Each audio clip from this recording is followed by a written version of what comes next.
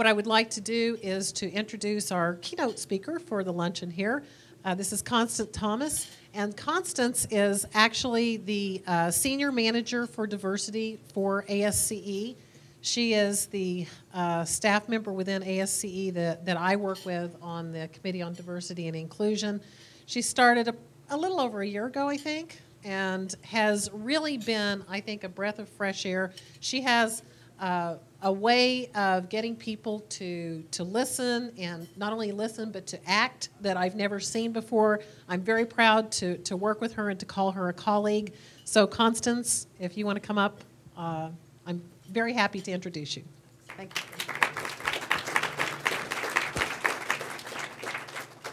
Good afternoon. Good afternoon. I know your mouths are full, but I know you're here and awake, okay? Good afternoon.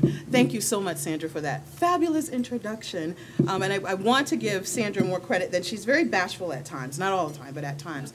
Sandra actually um, has been involved for years within the GEO Institute. Excuse me, I probably should use the mic. Has been involved for years with the GEO Institute um, with diversity and inclusion. And actually, she's a large part of why this initiative has been started. She's been going that tough path of being the one with the big C on her chest. That's courage in diversity world. I'm saying we need to pay attention to this. This is the future. Why aren't we engaging individuals? Why aren't we acknowledging individuals? Why aren't we being inclusive in our practices? So Sandra, um, as members, you owe Sandra, Craig, and others a big uh, uh, clap of uh, gratitude for this coming to fruition. I'd like to give Sandra and the others a round of applause. Thank you. Thank you.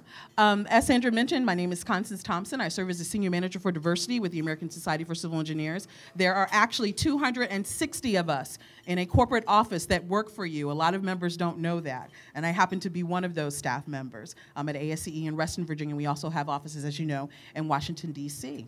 Um, today, Sebastian and the uh, team asked me to come to speak to you a little bit about the fundamentals of diversity and inclusion. What is it? What it isn't? What's why why should we do this basically? So i'm going to share that a little bit with you today but i'm going to need your uh, engagement.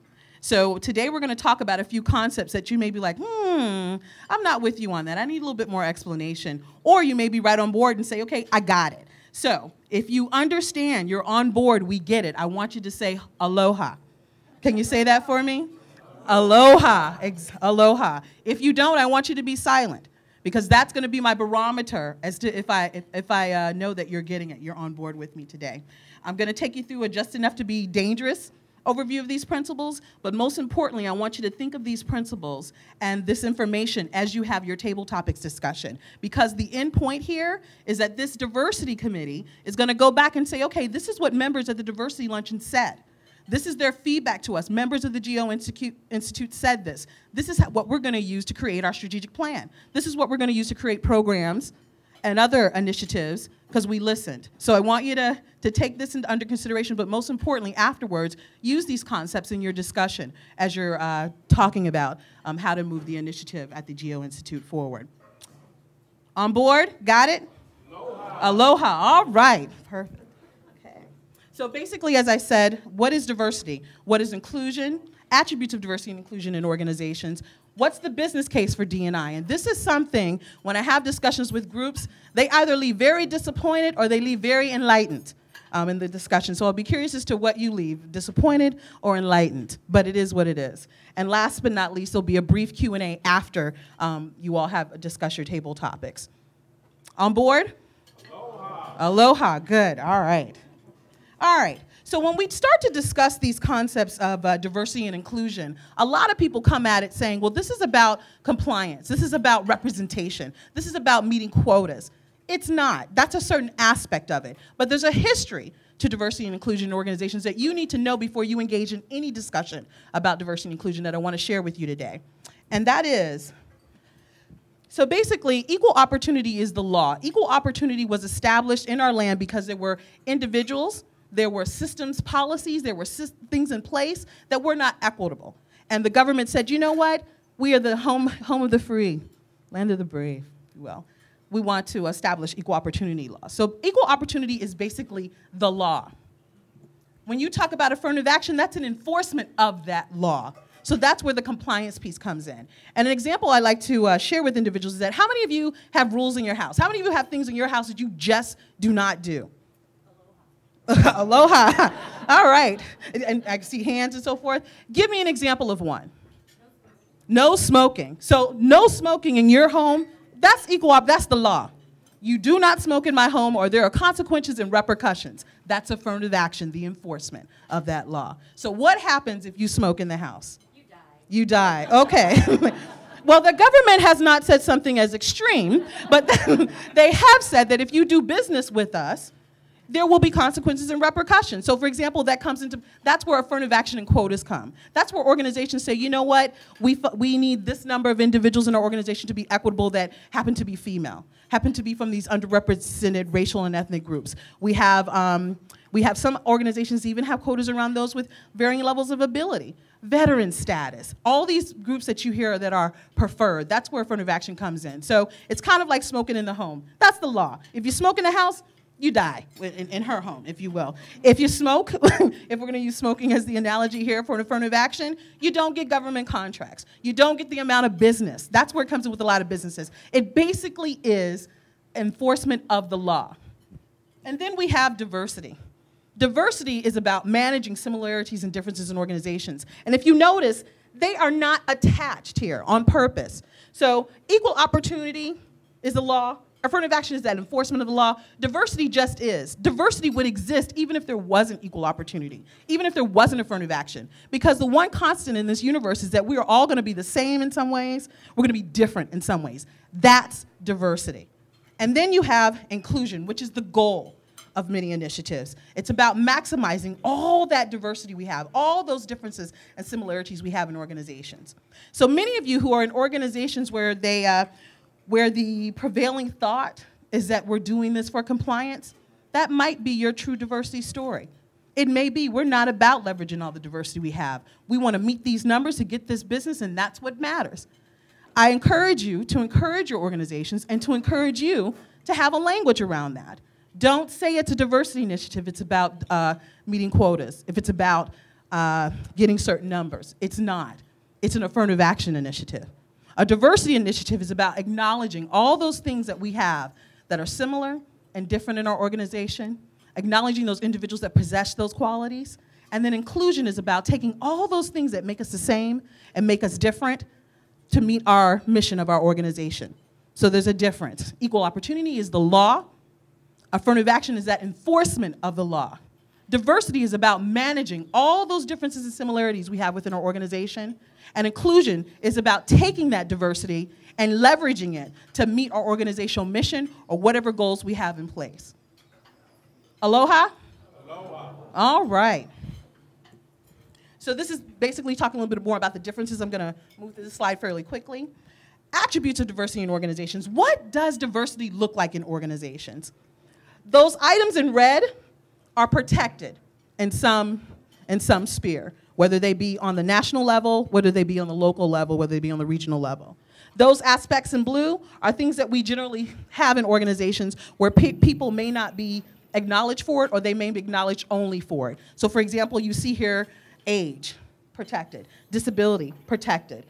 Some places, sexual orientation and sex are, are sexual orientation is protected. These are attributes of diversity. Um, many that I see that a lot of organizations struggle with, where the conflict comes in, job title and responsibilities, educational background, your skill set, your physical appearance. Some of those aspects are not generally as accepted or recognized in organizations, attributes of diversity. There are many more than just what's here. I've just listed what um, what generally people see as diversity in organizations, but there are many more aspects of diversity. All of these are everything, some of the things that make us the same, some of these things that make us different. Aloha? Aloha. All right. Inclusion. So, what are attributes of inclusive organizations? So, Constance, if it's really working, if my organization's really doing this right, what are some of the things that I would see going on in my organization? One of the things that I um, see in a lot of organizations is, um, didn't mention my background, but I've worked in Fortune 500 companies with diversity work. I've worked with um, Ivy League institutions in diversity work. I've worked with state local regional leadership um, in diversity work, and now I'm in the professional association world in diversity work. And one thing that I see that is constant in organizations that they struggle with this barrier is this transparent communication and information sharing. This will kill an organization. So the you die analogy here. An organization will die if you do not get a handle on this um, in an organization. And what that looks like is how do things happen? So, for example, if we take the GEO Institute as an example, how do decisions get made around who's on certain committees? About how the speaker's chosen for the diversity luncheon? Who gets invited to diversity luncheon? How are we communicating that there is a diversity luncheon? How do we communicate that there's a GEO diversity committee? Those types of things. Is it transparent? Do people know about it? Are they placed in the same places things around the, uh, the practice of the profession are placed around? Is it transparent? And then are we sharing information in a way that reaches all aspects of the GEO Institute. To take that a step further, when individuals learn about opportunities in leadership in the GEO Institute, how are they notified if they weren't selected? How are they notified of that criteria? What is that criteria? Transparent communication information sharing, one aspect of an inclusive organization. Accommodation for diverse needs. And I'm using the GEO Institute as an example because I think this is something all of you can relate to.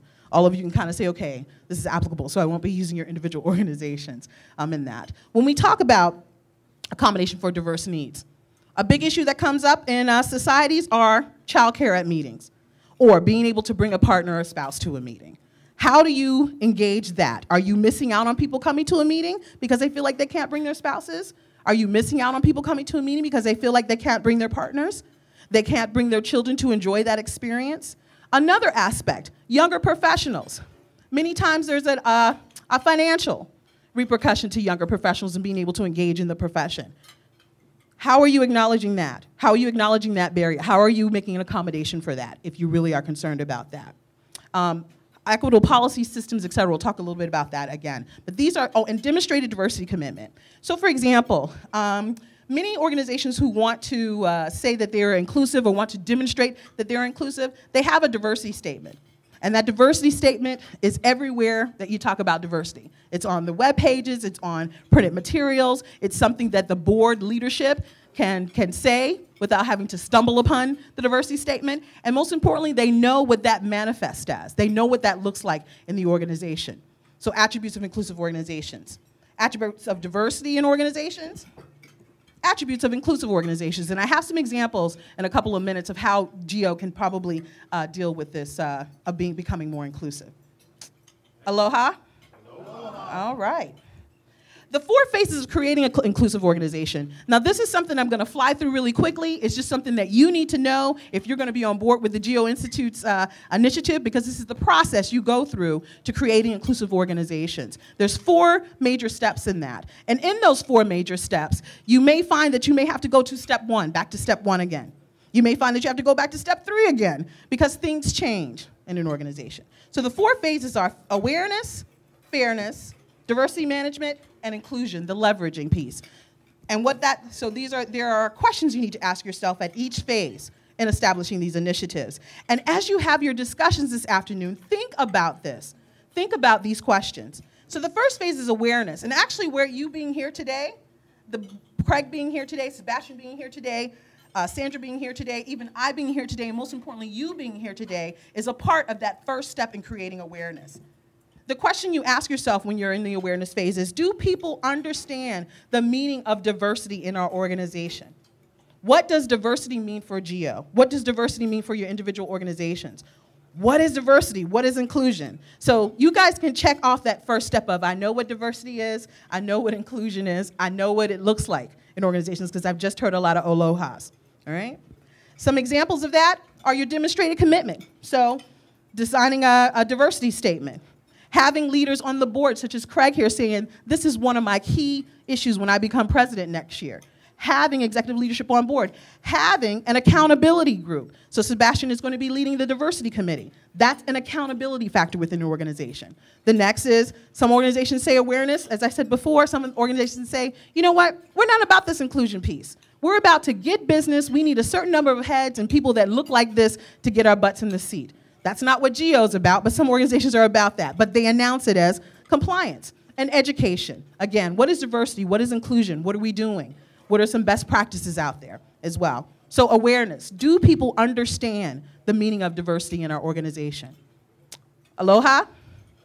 Aloha. aloha. All right. I am so impressed you're eating and you're still giving me the aloha. I love it. Love it, love it, love it. The, Sebastian's a joker. The next phase is fairness. Are our processes and systems fair and transparent? And I will say to you, the fairness phase is where organizations get tripped up because this requires individuals to be transparent in a way they've never been before. This is the phase where conflict comes up. I don't think like you do. I don't agree with you. I'm not going to engage because I don't agree with you. And as organizations, if you're going to be successful in creating inclusive organizations, you need to get past, get past this fairness phase. What it looks like valid human resources processes. And basically, all that means is talent. How do talent find out about roles? How are talent um, engaged in the organization? How are talent valued in organizations? How are talent, um, how are talent developed in the organization? Problem resolution systems, also known as conflict resolution systems. There is um, a lot of research out there about resolving conflict to lead to uh, effective diversity initiatives. And the bottom line comes down to you got to work through it. If there's conflict, don't run away from it. Deal with it. Work through it and learn to value those perspectives that are engaged in the discussion. But your barometer is what? This is our organizational mission. When we resolve this conflict that we have, in the end, this conflict needs to lead to us being able to meet our organizational mission. There's your barometer. And monitoring this. Sometimes this comes in the form of data. Sometimes this comes in the form of accountability measures. So, diversity committee, we've given you this amount of money to accomplish this. What was done with that money? Sometimes it comes basically down to that um, thing. So fairness. Are our processes and systems fair and transparent? Aloha? Aloha. Aloha, all right. Diversity management. In my opinion, this is the fun part. Diversity management, the question to be asked there is how can we assure that diverse populations are able to contribute to our organizations? Once again, today, you are here to provide the Diversity Committee that feedback. The Diversity Committee was just started the feedback you come with today is going to help them be able to establish diversity goals, not uh, not always um, goals in regards to representation, but goals that say this is how our members are going to feel like they're able to engage from diverse perspectives in our organization. What that looks like, once again, transparent and equitable systems, policies, et cetera. I'll give you a hint. The more individuals who come from various backgrounds, various fields that are engaged in your processes and systems, you're going to be able to innovate. You're going to be looked at as a leader in the area that you're able to. Look at Google. I hate to use, I mean, Google is like one of the, the best examples out there. People get to come to work as they are. The bottom line is what did you do today to help contribute to moving our Google mission forward? Come as you are, perform to your highest level, innovate. Clear and consistent communications.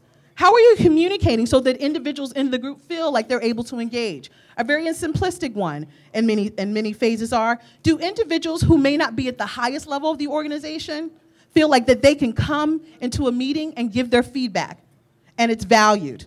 That they see that it was taken under consideration? People in middle management, do they feel engaged enough to be able to make some difficult decisions? Do individuals in your organizations feel as if they're able to bring their ideas and opinions to the table? And that they're not going to be shooed away because there's conflict resolved in that. And mentoring is another example of how organizations do this. Um, given this, the, the, the, representation and what our future workforce will look like, you are seeing mentoring programs pop up at every corner of the world now. We need to show our younger people or our individuals who, who do not have as much experience as our top level individuals who are the graying, individuals who will be leaving, how this organization works, move them up into the ranks and make sure that this organization is sustained, mentoring. So diversity management, how can we assure that diverse populations are able to contribute to our organization? Aloha? Aloha, Aloha. all right. And last but not least, inclusion, which is basically the goal of diversity initiatives. Any great diversity initiative, it's not just about diversity, it's about inclusion. And one thing that I would uh, submit to you is that if you can change your behavior to stop talking about diversity and start talking about inclusion, you're gonna be way ahead of many organizations. You're gonna be way ahead of most individuals because inclusion is where it's at. And basically the question there is, how does, our how does diversity help us achieve our organization's mission? How does all of these differences and similarities we have in our organization help us achieve our organization's mission? And people, this is your business case. Whatever, whenever someone comes up to you and says, What's your business case for diversity? The question is, how does diversity help you meet your organization's mission? That's your business case for diversity. So if you feel that the more diverse and engaged our workforce is, we'll just use workforce as an example, the more that we are able to innovate and make more money, whatever it comes to. But however you answer this question is your business case. And so developing an organizational case for diversity is an example of this, and making diversity and inclusion a part of the fabric of our organization, leveraging that. This is answered, this is a very, um, I'll call it intimate response because it's so tailored to your organization. It's so tailored to how your organization works and why you're doing this. Inclusion, leverage basically. How does diversity help us achieve our organization's mission? Aloha? Aloha. Aloha. All right. I'm surprised because I usually get silence at that point. Okay, what you just hit me upside the head with three different things, and I get here, I don't know the answer to that. So I'm glad that you guys are a little further. All right. So developing a strategic focus, we're going to move through this at lightning speed because this is just something you need to know as you're moving forward, not something that we want to dwell on today for you to be able to answer the questions that are before you. Developing a strategic focus. Organizations, when they say, okay, we want to have a diversity initiative, we're committed to diversity and inclusion, and we want to show this. The first piece that many organizations move to is talent, the recruiting piece. That is wrong. Because if you don't have a culture to welcome in this talent, to develop that talent, to acknowledge that talent, to move that talent forward, your initiative is going to fail. So you work first on your organizational culture. Then you work on your talent. Then you work on your marketplace. If you are interested in a recruiting initiative to start off, if you just got to do it, you're burning, deal with the people who are already engaged in your organization, who are already working at your organization. Work on developing them. Work on making them feel a part of the organization. Work on retaining them, retention, and then recruitment. So organizational culture, talent, marketplace are the three areas when you start your strategy and you're moving forward. Organizational culture, many times you do climate surveys, um, you do orientation programs, career and professional development programs. This is something that within the GEO Institute, if you really want to do things that I think will really move you forward, career and professional development programs is a good way to start um, in there. Um, the rationale is retention, high employee morale, increase, increased productivity, increased innovation. And many times when you hear about this in the sphere of STEM, I work in the world of STEM, um, STEM policies, STEM, uh, STEM, STEM, STEM, just all day, every day.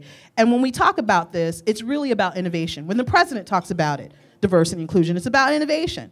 When you hear us talk about in organizations, it's about innovation. It is about winning this war on talent so that we as a country can sustain ourselves and be viewed as leaders. It's about innovation talent, um, to attract and motivate key talent, basically an innovate work workforce focus. And then when we look at marketplace or external focus, many of this is about how do we, um, the perception of our organization. How do people see us as, as committed to diversity and inclusion? How do individuals see us as being responsive to our diverse customers? Okay. And then Sebastian asked me, he challenged me, he says, Constance, I want you to talk about what it is, what it isn't, how it works in organizations, what it looks like, but we want to talk about some best practices. So I have two for you. One is a company who happens to be one of the sponsors of the GEO Congress this year. Um, the other is from another professional society. At Parsons Brinckerhoff, they view it as a business imperative. They make no bones about it. This is about us working on global projects and having impact in global communities. And we feel that if we are not diverse, if we are not inclusive, we're going to lose out on that business. We're going to lose out on our reputation as an organization. And most importantly, we're not going to be able to continue to innovate to be the best. So they basically, re reflection of the communities they serve. They want to be reflective of the communities that they serve. We have a couple people in the room who are with Parsons Brinckerhoff. So if you disagree, just yell, Liza, Liza with Parsons Brinckerhoff. They have employee networks. They have networks that represent women. They have networks that represent African Americans, Hispanics. The organization, I believe you, you have a lesbian, gay, bisexual group as well? You do? Okay. Okay. Yeah. you do in some of your locations? Okay. have that? Okay. Um, they have a diversity oversight committee, which looks like the GEO committee that does oversight, saying this is taking the pulse of the organization. They have a professional growth network because Parsons has, is, has a commitment to their young professionals, generally professionals under 35, um, and developing them. And they're on many best places to work lists. You may not know this, but Parsons is on a lot of best places to work lists. They also, um, from an ASC perspective, they participate in this program we have called the New Faces of Civil Engineering. Parsons, out of, we get about 100 to 150 uh, applicants for this program, this recognition every year, they have about 10 to 15 that they're submitting every year of their younger members for this recognition. They also, in many of their local markets, are, are um, have been awarded as a best place to work. Check out their website. They have some pretty interesting things there. But for Parsons Brinckerhoff, it's about innovation, it's about reflecting the communities that they serve, and it's about doing the right thing. The American Chemical Society, ACS, largest uh, society dedicated to the chemical enterprise that there is. They um, have a diversity statement that they developed from the board. Um, they established a um, they have established relationships with societies like the uh, Society for the Advancement of Ch- Chicanos and Native Americans in Science, SACNAS, with AISES, the American Indian um, Science and Engineering Society, um, with NOBCChE, the National Black Organization of Chemists and Chemical Engineers. But most importantly, they utilize those relationships to get people into governance roles within the organization, to make sure that they are representing the communities that they serve. They had board directed best practices uh, discussions that happened, and they also uh, published publications on what the state of Na- Native Americans in chemistry is, what's the state of African Americans in chemistry, the state of Hispanics in chemistry, and they use those to design their outreach efforts. They have a scholars program, they have awards programs, they have a Percy Julian Award that's pretty prestigious that they give out to uh, a scientist who happens to be African American, Hispanic, female, or Native American um, each year. And then they have efforts up on the Hill. They're one of the few societies, in addition to us, um, ASE, we will not be outdone, right? Um, they actually have representatives out on uh, Capitol Hill that are often engaged with decision makers up on Capitol Hill around STEM policy as well. So, best practice, state of the art practices. All right. Aloha? Aloha. Aloha. All right. So, your table topics. Your table topics that you have at your table here that we're going to ask you to discuss for the next few moments basically are leading to how, how will GEO become a state of the art leader in the practice of inclusion? So, how will the GEO Institute be seen as a leader? You're already a leader within ASCE. You got the first committee. You're off to a great start. It's 140,000 members. Okay, you guys are off to a great start. How will GEO become a leader in the practice of inclusion? All right, and thank you.